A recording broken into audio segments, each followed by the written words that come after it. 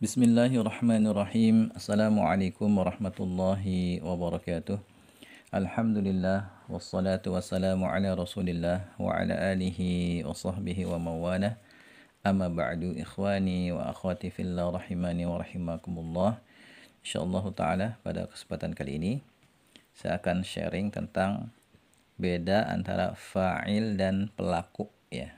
Materi ini saya ambil dari buku 37 catatan bahasa Arab catatan yang ke-22 halaman 55 fa'il adalah pelaku ya fa'il pelaku yang melakukan perbuatan. Namun tidak setiap pelaku berposisi sebagai fa'il. Ya perhatikan contoh berikut ya pada kalimat yang pertama jaa zaidun. Jaa zaidun. Yang kedua zaidun jaa.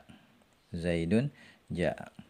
Penjelasan yang pertama ya, kalau dalam bahasa Indonesia, kedua kalimat di atas biasanya diterjemahkan sama, yaitu Zaid telah datang.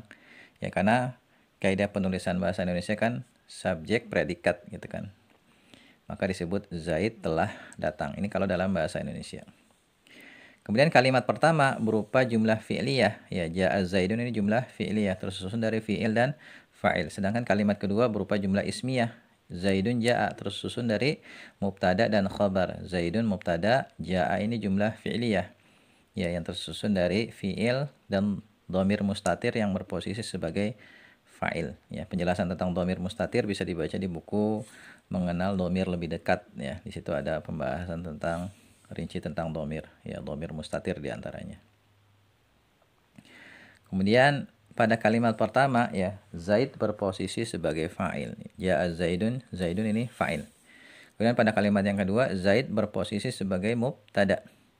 Ya, khabarnya adalah jumlah fi'liyah yang tersusun dari fi'il dan fa'il yang fa'ilnya berupa dhamir mustatir tersembunyi. Ya, penjelasan dhamir mustatir bisa dibaca di buku mengenal dhamir lebih dekat ya seperti yang tadi sudah saya katakan.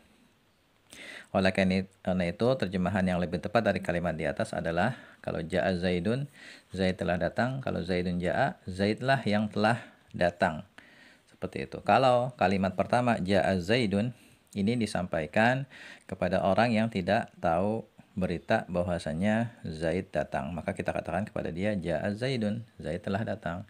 Tapi kalau pada kalimat yang kedua Zaidun ja'a, ini kita sampaikan kepada orang yang dia tahu ada yang datang tapi dia nggak tahu apakah Zaid atau yang lainnya maka kita katakan Zaidun ja'a ya. Zaidlah yang telah datang.